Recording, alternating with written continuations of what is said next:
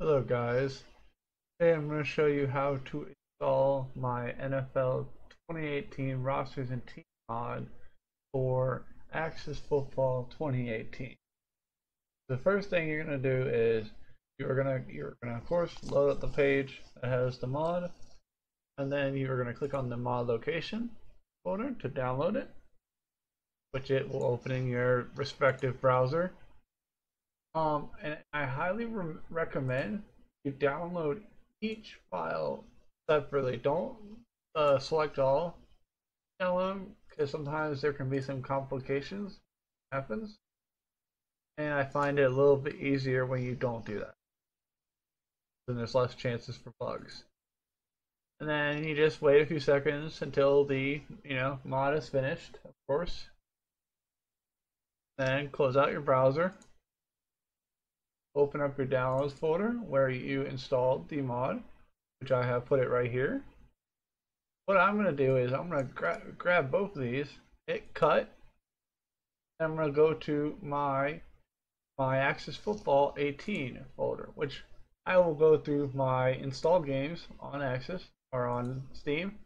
I'll right click, go to Properties, Local Files, Browse Local Files, and I'll go to my mods folder. And now right here, I will paste my uh, folders right here. But that's not it. So the first thing I'm gonna do is I'm gonna I'm gonna do the player portraits one. So I'm gonna unzip this, but do not hit extract to player portraits. And by the way, I am using 7-zip, a free program. Uh, I don't really know how to use WinRAR because I just use 7-zip because it's built right in um, once you download it from the web if you just google 7-zip and it, but you're going to hit extract here. And then you're going to say yes to all. So basically that, that it's just putting it into the player uh, portraits folder. You're going to let that do its thing. And I'm going to go ahead and do the team mods ones the same way. 7-zip extract extract here and let these programs run.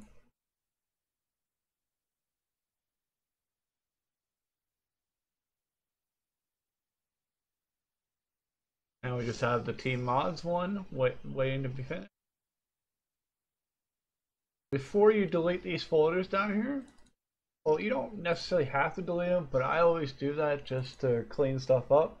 So just verify in the team mods folders. You should have all these files here uh, in your team mods folder. If you do, then you're good to go. And then wait, and then and then after that, just delete the remainder files, of course, the ones that you downloaded. Close this out, and then launch the game. And once we're in game, give it a few seconds. Um, I will show you where to go to activate the mod. You're gonna go to options. You're gonna and then you're going to go to the option screen, and then you're going to go to mods. you're going to un you're going to check the use mods box, and then uncheck the mod. So basically like this, and then you're going to have the only thing left checked will be use mods. Then you're going to hit back. You're going to close the game out, exit the game, and then once it fin finishes closing out on Steam, relaunch it. And just wait for it to load up, of course. Then you, you and you can go, and then you go to Exhibition and choose whatever mode you want. I'm gonna go to Spectate for my purpose, and all the teams, 36 teams, will be here, right here in this mod. And as a bonus perk, this mod does work franchise. I will show you how that works as well. Go to franchise. I'm gonna delete this. Oh. So I can show you. You're gonna delete that. Or you're not gonna delete it. I'm gonna show you on mine. Then you create a team. I'm uh, and, I'm, and then just to show you that how franchise works. I can just select a team, Buffalo, and then there you go. Play some franchise. Now this mod is still heavily a work in progress, so all the teams are in. Some logos might be missing. Some uniforms might not be lining up.